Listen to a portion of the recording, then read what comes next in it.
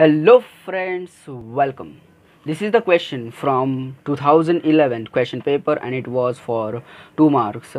This is a combined data for two questions. Here we can you can see each question each question is for 2 marks here. Now let's read the question common data first. The temperature and pressure of air in a large reservoir are 400 Kelvin and 3 bar respectively.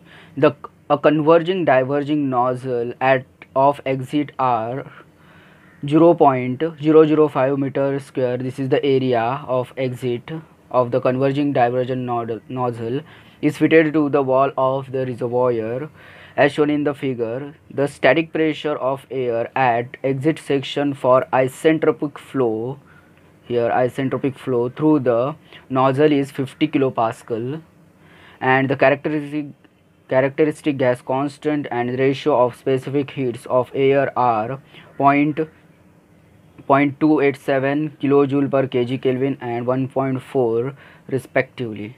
Here this is r hour and this is here gamma. So here friends let's see uh, the diagram first. Here this is the entry. This is inlet and this is exit here nozzle inlet and nozzle exit. And here at the inlet we have here t1 is equal to uh, as in as in the question i'm writing the given data. T1 is 400 kelvin we have and uh, p1 we have here i'm writing here p1 you can see. P1 is we have 3 bar that is 3 into 10 raised 5 pascal. Okay? Now here we have area of exit area that is AE is 0.005 meters square. And we have here exit pressure that is here P2 is P2 is we have 50 kilopascal 50 kilopascal.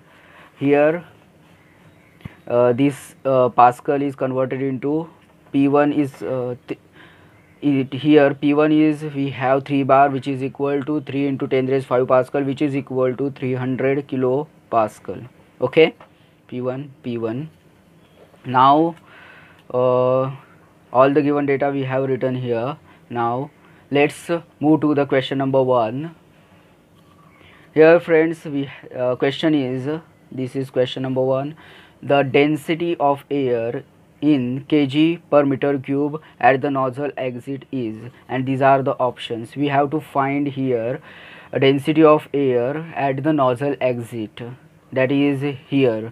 That is here we have to find uh, rho 2 is equal to what in this question?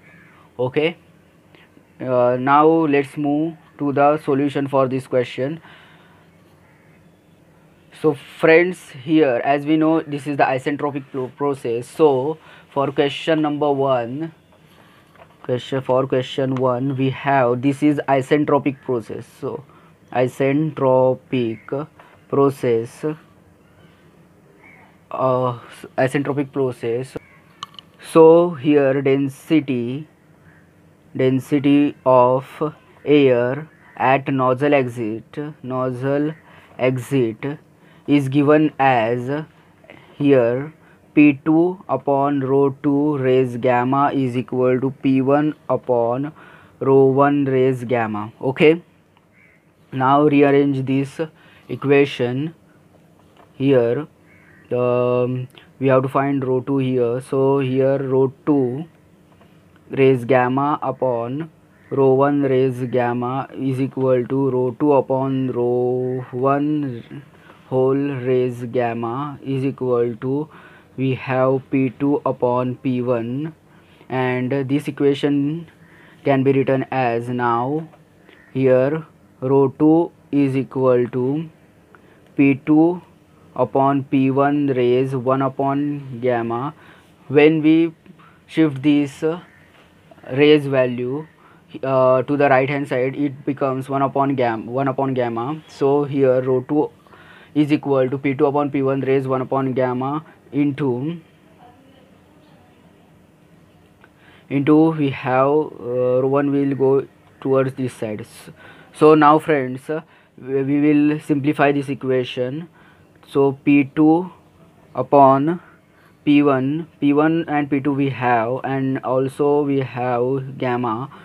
So and uh, rho 1 we can calculate as uh, here let's see first see here friends for rho 1 how to calculate rho 1 so here friends we will apply the um, ideal gas equation. So pv is equal to mrt okay? Now this v will go here. P is equal to m upon v is equal to rt so p is equal to rho r t. So rho is equal to upon rt so now here friends uh, see here this rho this rho 1 will become here p1 upon r t1 so now friends let's put the values in the equation. So rho 2 is equal to here rho 2 is equal to p p2 upon p1 we have p2 value here as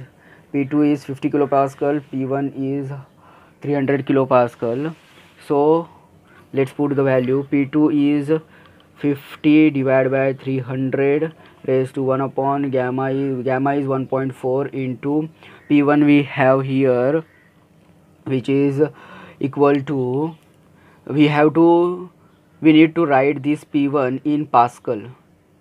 So pascal we have to write this p1 in pascal. So p1 in pascal we have p1 is 3 bar so 3 into 10 raised 5 is pascal and r we have to write we have in uh, kilojoule sorry uh, yes yes we have uh, R is 0.287 kilojoule per kg Kelvin. So we have to convert it into joule per kg Kelvin. So it becomes 287 into T1 we have here uh, 400 Kelvin. 400 Kelvin. Now friends after calculating these values after calculating this equation we got we will get the rho 2 is equal to 0. 727 kg per meter cube so here rho 2 is equal to this one this is our answer so in the question here this is question number one and the answer for this question that is density of air is 0.727 kg per meter cube. That is answer option c is correct for this question number one. Now friends let's move to the question number two this one uh, here uh, the mass flow rate of air through the nozzle in kg per second is so here friends we have to calculate mass flow rate that is m. Here we have to find in this equation in this particular question and these are the options. So here friends for question number 2 question number for 2 here mass flow rate of through the nozzle friends. Mass flow rate through the nozzle is constant throughout the nozzle section. At the uh, that is mass flow rate through the nozzle is equal to mass entering the nozzle and mass leaving the nozzle. So here friends uh, mass flow rate m is equal to rho 1 a1 v1 is equal to rho 2 v2 a2 okay? That this is entering mass which is this here. This is inlet mass entering and this is exit mass. And this is mass flow rate. Rate. So this is the equation. We we mostly this equation is mostly useful for us for to to find out the uh, mass flow rate through the nozzle. Here this is because friends here we have two values. That is we have rho rho 2 we have and a2 we have. Only we need to calculate here v2 v2 we have to find out. Then after that we will get the m. Okay? Now friends here we will apply the steady flow energy equation. So here friends steady flow energy equation.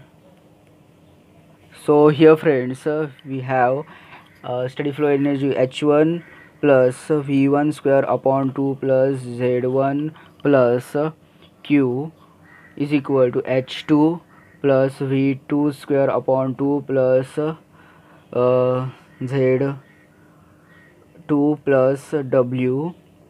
And here friends this uh, exit area a2 a2 is equal to ae as we have written here exit area as ae which is equal to a2 in this case. Uh, okay.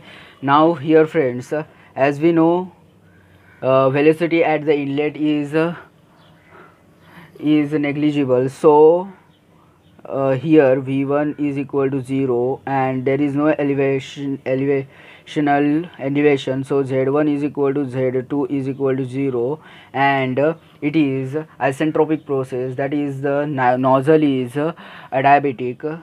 That is it will be the insulated. So here q is equal to 0 and there is no work done by the nozzle. So w is also equal to 0 so here friends this term will get cancelled this get cancelled this one this one this one. So we left only with now h1 is equal to h2 uh, plus v2 square upon 2 this equation we can write as here h1 minus h2 is equal to v2 square upon 2 and here friends h2 h1 minus h2 is given as here h1 minus h2 is given as cp into bracket t1 minus t2 okay which is equal to v2 square upon 2 and here friends cp is given as cp that is cp for air is assumed we can assume uh, cp for air is 1 0 08 okay 1008 joule per kg kelvin okay so now here friends see from this equation 1008 into T1 minus T2 we have T1 400 Kelvin and T2 we need T2 we need to find out here friends T2 and which is equal to v2 square upon 2 v2 square upon 2 so here friends so here friends now we need to calculate. T2 also we need to calculate. After that we will get the v2 so here friends to get to calculate the t2 we will use the uh, uh, isentropic uh, equation. So this as we know this is isentropic process. So here t2 upon t1 is equal to p2 upon p1 raise gamma minus 1 upon gamma this is the relation for isentropic process so friends now let's put the value we have to uh, t2 and here t1 is we have 400 Kelvin is equal to P2 upon P1. P2 we have P2 is 50 and uh, P1 is uh, P1 is 300 kilopascal. Gamma minus 1 that is uh, 1.4 minus 1 that is 0.4 and here it is 1.4. So now after calculating this equation we will get T2 is equal to 239.73 Kelvin. This is T2 this is T2 okay? Now friends we will put this T2 value in this equation this in this equation. So here friends see mm, this equation becomes this here this equation now becomes after putting this value in the equation here 1008 into 1008 into 400 which is 400 400 minus t2 is 239.73 73 and uh, this 2 will come here and we will take the square root of the answer. So here friends into 2 and here it is v2 we, we will take the square root of this one. After solving this equation we will get the answer. V2 is equal to that is velocity at the exit. We will get 5 67.57 meter per second. Okay?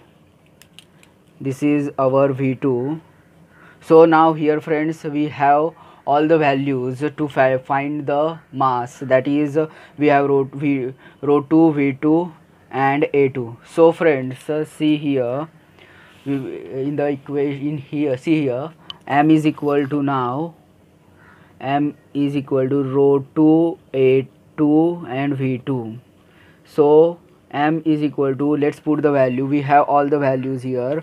Rho 2 we have calculated here this one that is 0.727 so here 0.727 into a2 we have in the question which is 0.005 so 0.005 into a2 v2 we have find out recently which is equal to 567.57 so let's write it 567.57 so friends after solving this equation we will get m is equal to we will get 2.06 2.06 kg per second. Okay? This is our answer friends m is equal to 2.06